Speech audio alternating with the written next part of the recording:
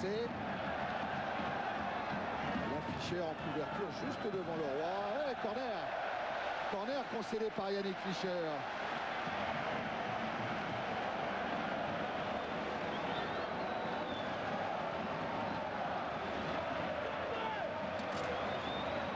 Ah, il avait pas mal de Rabé Sandratana. Le corner est joué, pas très bien joué, puisque les Marseillais vont récupérer la balle. Pérez. Pour étayer les, les propos de Jean-Luc, euh, Madar et Christian sont effectivement les deux joueurs parisiens qui touchent euh, le moins de ballons. Et quant à Okocha, je crois que c'est de- c'est Laurent qui, qui soulignait qu'il fallait qu'il monte un peu plus. Il touche 65% de ses ballons, il les joue dans son camp. Et voilà. Ouais, vraisemblablement un petit peu comme euh, De La Peña côté marseillais, qui a un petit peu le même rôle que Kokocha. Murati est en train d'accélérer l'échauffement côté PSG. La Spal, mais Murati euh, forcément économisé un petit peu par Bergerot. Il, revient d'un drôle de périple avec son équipe d'Albanie. Deux matchs en quelques jours. Éliminatoires de l'Euro 2000. Attention au centre de Pérez, contrôlé par Okpara.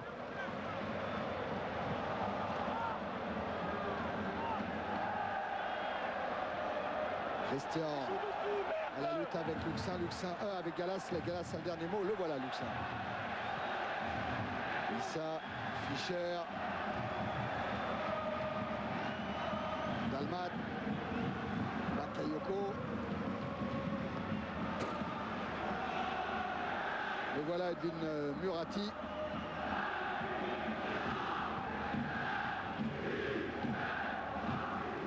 Dalmat.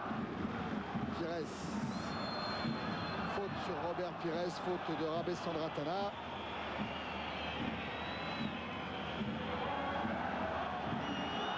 Pas logique un tacle par derrière alors que Pires est de, dos et que Rabé Sandratana vient lui faucher la, la jambe d'appui. Regardez, protège bien son ballon. Et Sandratana sera bientôt suspendu, Jean-Luc. C'est son troisième carton jaune. Il en a pris un à Rennes, il en a pris un contre Auxerre. Il prend celui-ci contre Marseille. C'est le 23e carton jaune du PSG depuis le début de la saison. C'est mieux qu'avant. Donc euh, Paris, euh, l'effort mental demandé par Bergerot a pour le moment payé. Ça va laisser le PSG en, en queue du classement du fair play. Et lui aussi, c'était sa première faute, Thierry. Ouais. Attention à la frappe de Pérez qui n'inquiète pas Casagrande. Il frappe à la Roberto Carlos. Coup de pied légèrement extérieur pour une trajectoire qui va, qui va partir vers la droite, qui va slicer, comme on dirait au golf.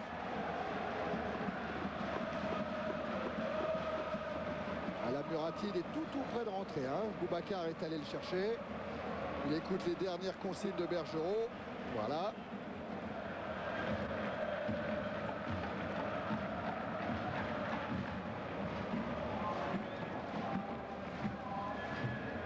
Alors, si jamais euh, Madar n'avait pu jouer pour ce problème de dos, Laurent Robert serait monté d'un cran et Murati aurait joué en position euh, de milieu gauche.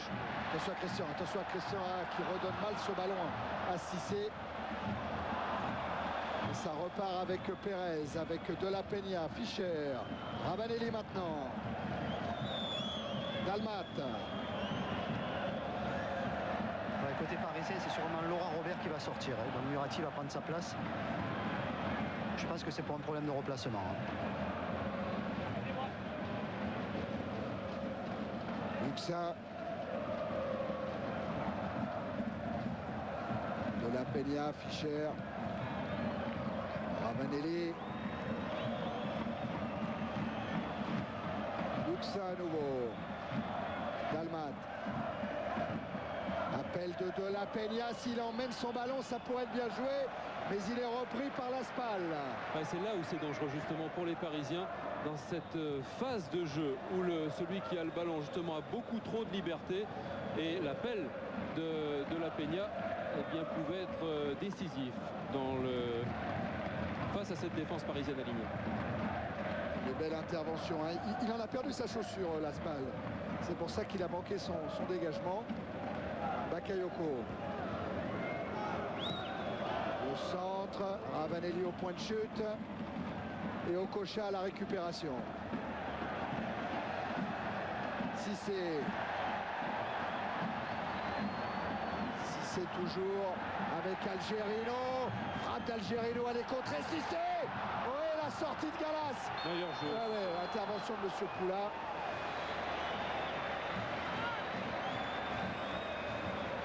C'est allé très très vite. Un côté parisien, fin de l'action, là indiscutablement trois joueurs sont en position de, hors-jeu au moment de la remise de la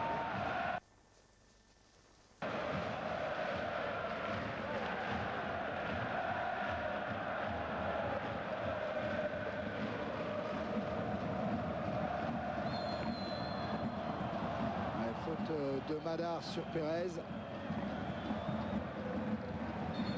Voilà donc l'homme qui devrait sortir. Il jette un coup d'œil sur le banc de touche d'ailleurs, euh, Laurent Robert. Il avait avoué à, l'issue du match de Nantes qu'il était cuit, ce qui s'explique. Euh, après sa suspension d'un mois, il manquait forcément de rythme. Et c'est effectivement lui qui va sortir pour laisser sa place à Edwin Murati.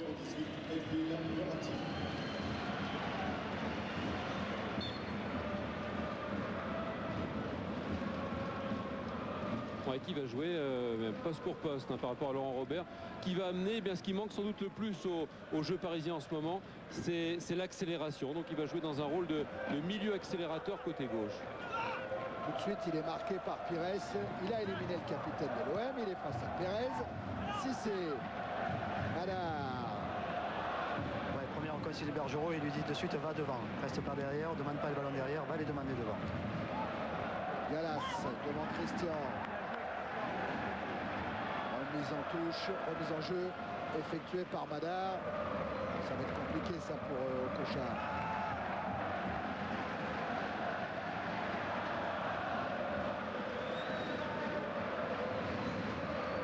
Okocha pour la Spal. Contré par Pérez. Coup franc sifflé par Monsieur Poula.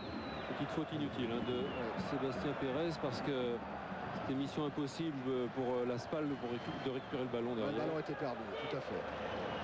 Voilà le duel euh, entre Christian et Pérez. Eh ben Murati, il va se charger du coup franc.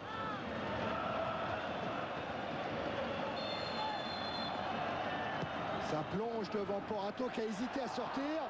Et ce ballon finalement file sur l'autre aile vers Okocha. Para, Okocha, centre d'Okocha, deuxième poteau pour Madar, poteau Le poteau Rabesson Ratala et la frappe d'Okpara qui passe au-dessus, mais que Madar avait bien déposé ce ballon. Malheureusement pour l'attaquant parisien, il arrive sur le poteau. Ah, le jeu de tête de Michael Madar, c'est quelque chose. Et deuxième poteau trouvé par les Parisiens. Frappe tout à l'heure de Christian sur la base du poteau. Cette fois-ci, Michael Madar va jouer la lucarne opposée de Porato. Nouveau poteau. Les Marseillais et Porato particulièrement pour la Baraka. Thierry, je crois que c'est le huitième poteau du PSG depuis le début de la saison. Et si on a le temps tout à l'heure, on pourra les voir tous. Ah oui, ça serait amusant si on peut. Et Madar, on a trouvé quelques-uns hein, particulièrement. hein. Si c'est le roi qui prolonge jusqu'à Algerino, ça va peut-être donner un coup de fouet aux joueurs du PSG. Intervention Galas. De la Peña. De la Peña toujours. Bakayoko. De la Peña encore. Frappe peut-être. Non, il va jouer avec un signalé hors jeu. Oh, Ravanelli signalé hors jeu. Pourquoi n'a-t-il pas frappé Thierry? Ah oui. Parce que il avait fait le plus dur. Ibrahima Bakayoko, sans le vouloir, lui avait redonné un ballon. Il était face au but. Regardez, sans le vouloir, il est face au but. Ah, il a Et au lieu de frapper, tout le monde s'attend à ce qu'il frappe. Et non, il a joué collectif. Ouais. Mais il n'y a pas hors-jeu. Il n'y a hein. pas hors-jeu, il y a Il y a Okpara qui couvre. hein. C'est Okpara qui couvre. Et il s'est un peu compliqué la vie quand même, Yvan de la Peña, parce qu'il avait une belle occasion face au but. À 16 mètres 50, 18 mètres allez, de, de Dominique Casagrande. main à main là de, la Peña. de qui avait marqué euh, un but hein, lors de son entrée dans le championnat espagnol. C'était avec le Barça de Cruyff à Valladolid. Il avait marqué un but dès sa première titularisation.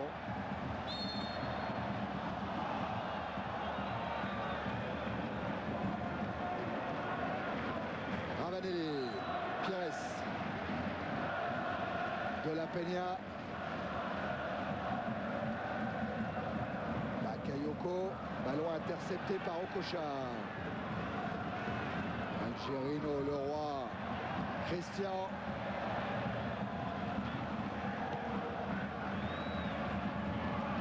Si c'est le roi, tiens à propos de le roi, l'autre, Laurent Leroy, même s'ils n'ont aucun lien de parenté, est lui aussi en train d'accélérer l'échauffement. Centre de Murati, tête de Jérôme Leroy, capté par Porato. Ça bouge de partout sur les bancs en ce moment. hein. Du côté Marseille aussi, ça va bouger.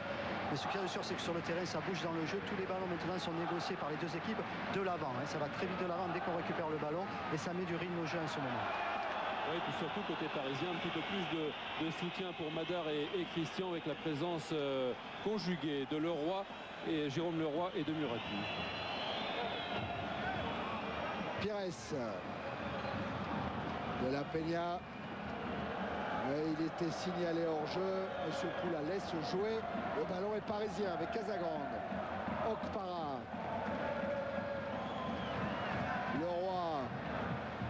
Ah, illustration de ce que vient de dire Laurent. hein. On va vers le but maintenant avec Algerino.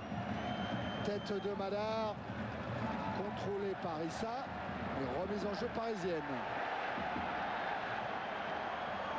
Murati. Le roi. Madar peut-être. Un rebond. Pérez pour Issa. Et Issa. Ouais, bien joué euh, Pires, mais pas suffisamment bien joué. Murati. Chargé par Pérez.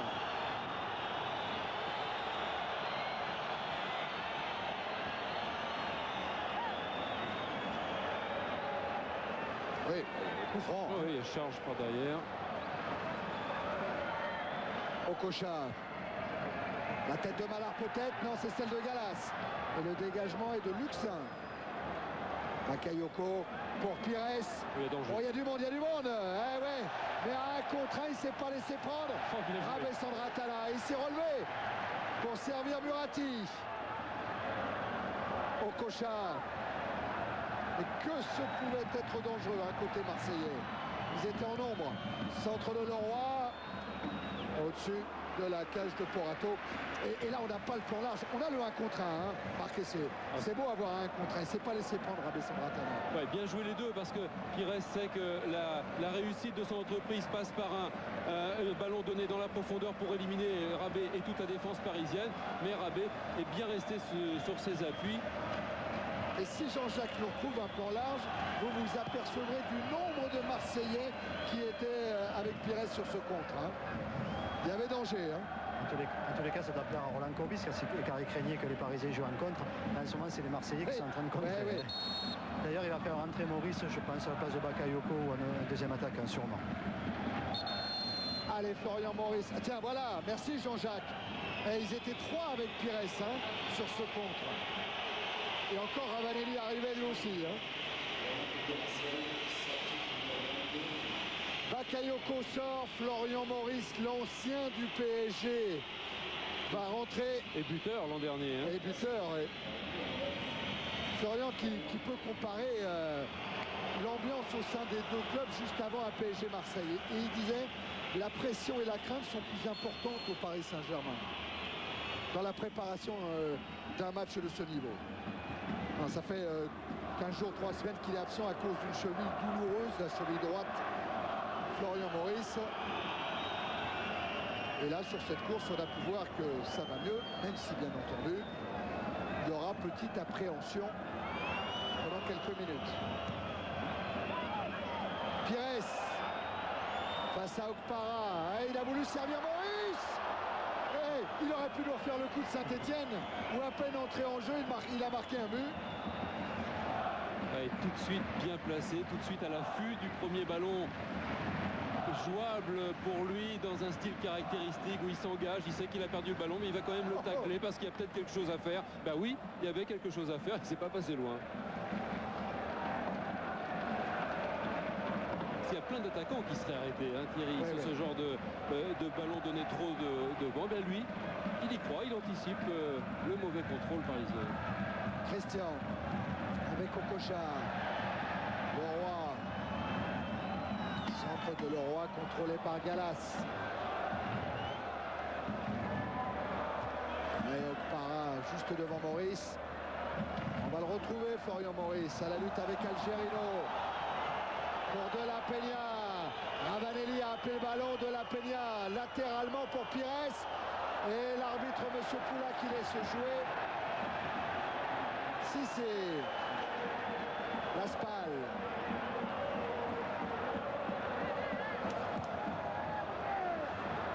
Murati qui alerte Christian mais qui est tombé sur Galas.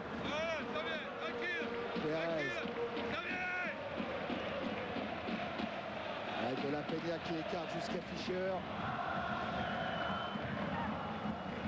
Dalmat. Intervention 6 pour Leroy. Ah oui, Leroy, un double contact. un- Deux joueurs marseillais éliminés. Et Christian qui avance vers le but de Porato. Murati. Ouais, facile celui-là. Ce ballon pour euh, Porato. Luxin. Dalmat. Et qui a évité superbement Cissé. Dalmat pour Maurice. Ravanelli. Maurice Ravanelli le 1-2. Et le but. Fabrizio Ravanelli, 73e minute. Et l'Olympique de Marseille qui mène 1-0. Eh ben, c'est le coup de tonnerre. hein. Les supporters 800 qui ont fait le déplacement de l'OM en bus sont ravis. Mais sinon, c'est silence au Parc des Princes. Oui, silence et coaching réussi pour Roland Courbis avec l'entrée de, de Maurice parce que après ce bon contrôle de Dalma et cette bonne passe donnée dans la profondeur, c'est Maurice qui est à l'origine, qui donne ce ballon à Ravanelli, qui donne après sur la remise, sur le 1-2, sollicité par Ravanelli. Regardez, c'est lui qui est à la réception ce ballon donné dans l'axe. Ensuite, les deux joueurs vont combiner, ils se connaissent bien évidemment. Une de Ravanelli, deux de Maurice et boum, trois dans la lucarne. Et cinquième but de Ravanelli cette saison en championnat. Il a inscrit un but lors des quatre dernières journées de championnat. La septième contre Troyes, la huitième à Rennes, la neuvième contre Metz et la dixième au Parc face au Paris Saint-Germain.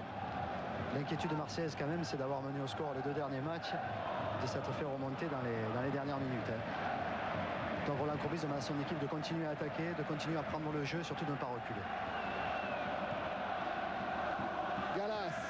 Il va y avoir forcément une réaction parisienne. Les Parisiens qui avaient choisi d'être prudents, de rester bien organisés, de ne pas trop se livrer, qui sont piégés malgré tout, qui sont menés et qui vont devoir réagir en prenant plus de risques offensifs, ce qui peut à nouveau permettre aux Marseillais de placer des comptes.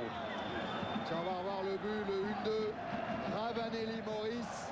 Et du bout du pied gauche, Ravanelli qui va trouver la, la lucarne hein, de Casagrande. La joie de Roland Courbis du banc marseillais. Et un 1-2 fait avec beaucoup de calme, hein, de lucidité. Presque un 1-2 de- d'entraînement. Ravanelli a bien pris le temps. C'est bien appliqué dans la transmission. Maurice aussi. C'était son premier tir. Premier tir, Ah oui. premier tir et deuxième cadré pour l'OM. Attention à ce coup franc joué par euh, De La Peña. Oh, inattention de Murati. De La Peña en profite. De La Peña toujours après un 1-2. De La Peña encore qui se heurte à Cissé cette fois. Et faute de l'attaquant espagnol de l'autre côté, un Leroy va remplacer l'autre. hein. Je crois que c'est sorti de Jérôme et rentré de Leroy. Dalmat. Et le travail de Dalmat sur le but de, de Ravanelli était conséquent hein, aussi. hein. Ouais, à l'origine de l'action. Et encore une fois, regardez, c'est ce genre de, de- Et- de et- phase de jeu où il y a un gros gros danger. Parce qu'on ne gêne pas celui qui va passer. hein. Et ça monte euh, tardivement. hein. Ah, oh, ouais. Laspal, euh, Ouais. je suis pas sûr qu'il couvrait pas même. Alors le changement annoncé par Laurent, hein, Leroy va prendre euh, la place d'un autre. Jérôme sort, Laurent rentre. Pour une version parisienne de fin de match à trois attaquants. Même si Laurent Leroy peut jouer hein, aussi milieu, milieu offensif, il va vraisemblablement jouer plus devant que Jérôme. Laurent Leroy qui avait été touché légèrement aux adducteurs avant cette rencontre qui aime bien son statut de, de joker finalement. oui, parce qu'à Nantes, Parce que ça marche. ça a marché deux fois. ouais. Il n'a jamais été titulaire avec le PSG cette saison. Ah, Madar, Madar Mais gêné juste ce qu'il faut par euh, William Gallas. Regardez, un tout petit peu gêné. Il sent la présence de, de Gallas. Il ne peut effectuer correctement son, sa volée. Et C'est vrai, Jean-Luc, que les Parisiens ont été prudents, mais on va dire qu'ils n'ont pas été vénards. Oui, hein, faut rappelons les deux tirs sur les hein. poteaux. oui, oui. Voilà. Dalmat. Retour de Laurent Leroy qui commet une faute. Bien sûr que le jeu direct des Parisiens va vraiment poser un problème parce que Galas et, et Issa sont en marquage idéal sur Madar et sur Christian. Donc euh, c'est du 1 contre 1 chaque fois derrière sur du jeu long. Je ne sais pas si, si Pérez n'aurait pas intérêt à venir couvrir un peu plus maintenant. Ah oui, parce que cette tactique euh, de Philippe Bergerot, c'est pour bloquer l'axe, c'est pour occuper les défenseurs centraux. Mais il faut absolument, pour que ça marche, eh bien que sur les côtés, on cherche à occuper les couloirs, notamment Murati et Laurent Leroy maintenant. Alors, il y a quelque chose qui me fait peur, c'est que je vois des fusées qui sont en train d'aller d'un côté à l'autre euh, du Parc des Princes. Et ça, voilà. J'espère que personne n'a été touché. C'est sur cette euh, vilaine image hein, qu'on va vous demander de donner une note à la rencontre. Alors qu'il reste euh, une quinzaine de minutes, on va dire, avec le temps supplémentaire, que l'OM mène un but à zéro. Si vous avez raté le but, et si vous êtes abonné à Canal Plus en numérique, vous avez à votre disposition le bloc-notes interactif. Laurent Vernet vous propose un résumé réactualisé en permanence. Madar qui a joué avec Christian. Il se heurte à Issa et ça fera un coup franc pour le PSG. Oui, oui, il y a faute, il y a faute de Pierre Issa. Voilà, c'est là, c'est ce bras qu'il pose euh, sur l'épaule de, de Christian pour l'empêcher de, de sortir de son dribble. Ouais, c'est surtout côté marseillais, beaucoup de ballons à l'heure actuelle perdus au milieu de terrain qui reviennent très très vite sur la défense marseillaise. hein. Pour le PSG avec Murati. Madar, bien sûr, pourrait être sollicité vu son jeu de tête. C'est Okpara qui a touché ce ballon au-dessus de Porato. Voilà Godwin Okpara.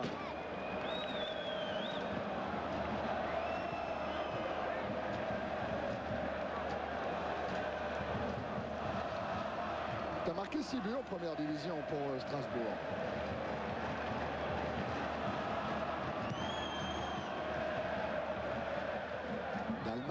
Prolonge sur Maurice. Dalmat.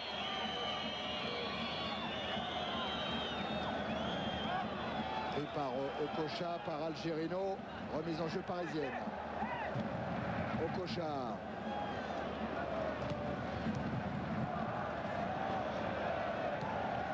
Mara.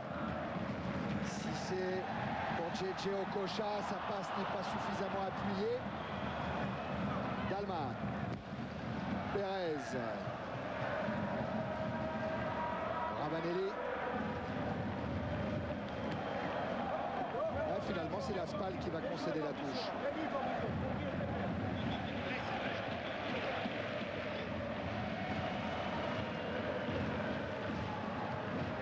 Marc Lévy est parti chercher un remplaçant marseillais à la demande de Roland Courbis.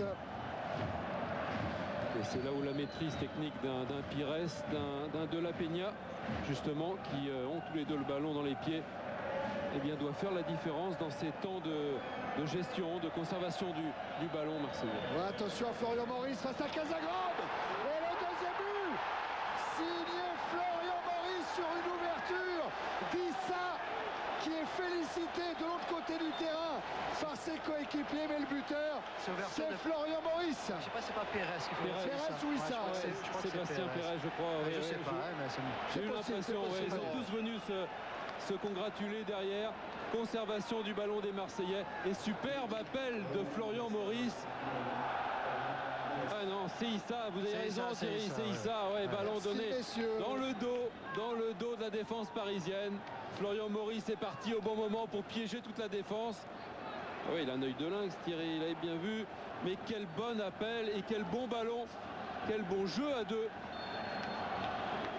Et quel toucher chez Florian Maurice. Dosage de l'attaquant. Et 2-0 pour l'OM.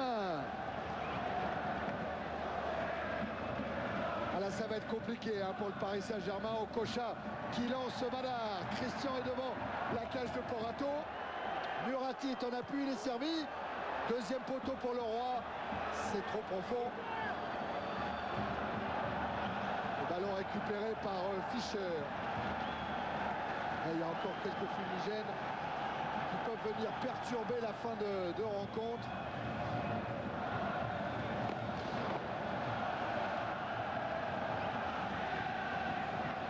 ça bouge hein, du côté euh, de la tribune Boulogne.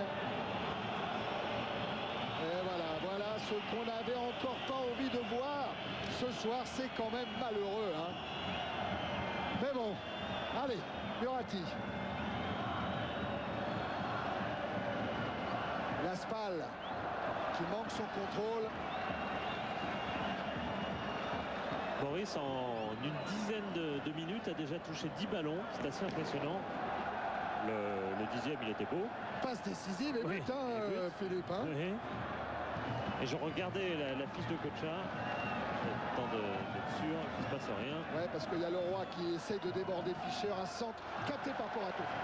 Ouais, c'est assez incroyable parce que Kocha n'a touché que 5 ballons dans le camp adverse en deuxième mi-temps. À croire qu'il est peut-être juste physiquement, 5 ballons sur 25 joués dans le camp marseillais, c'est surprenant surtout pour une équipe qui a bien besoin de son talent et de, son, sa justesse de passe pour revenir au score maintenant. Parisiens qui doivent euh, bah, tout tenter, tout tenter maintenant et Okocha doit se libérer offensivement. Côté Marseillais, Roland Courbis qui demande de la peine s'il veut sortir. A priori, il a envie de rester sur le terrain. Donc c'est qu'il se sent bien.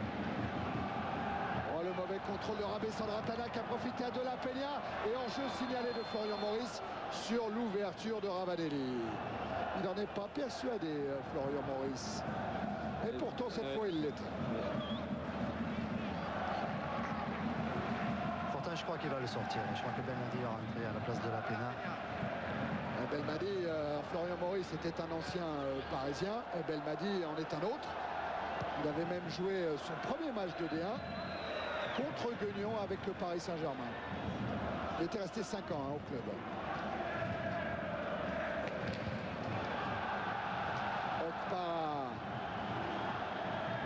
Okocha maintenant. Ah, Okocha qui va peut-être pouvoir frapper. Il n'a pas cadré JJ Okocha. Alors c'est vrai qu'il réussit bien en hein, milieu euh, défensif axial, mais on est quand même toujours... Euh, on est heureux de voir hein, venir mettre le danger dans la défense adverse parce qu'il a tellement de qualité, en tous les cas pour le jeu parisien. Paris a besoin d'Okocha aux abords de la surface marseillaise. Et voilà, et voilà. Forcément, ça recommence. On n'arrivera pas à suivre, nous, les amoureux du foot, un PSG de façon tranquille. Voilà. C'est terrible. Super stat hein, au passage pour euh, de la Peña. 77 ballons touchés. Ça a été vraiment la plaque tournante du jeu marseillais. Et 10 seulement de perdus. Quelle efficacité.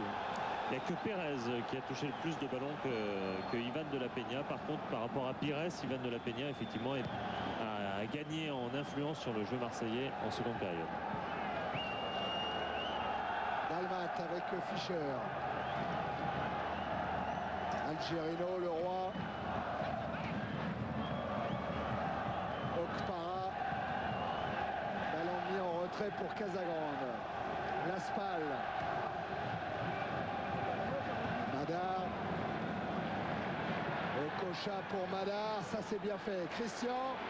La fin de frappe et cette fois frappe gauche. Oh que c'était bien fait. Ça c'était bien fait de la part de Christian. Et Eh oui, toujours pas en réussite. Christian sur ce bon mouvement amorcé. Une 2 entre Okocha et Madar. Christian qui fait un bon dribble de dégagement et qui frappe très fort, mi-hauteur, mais toujours pas cadré.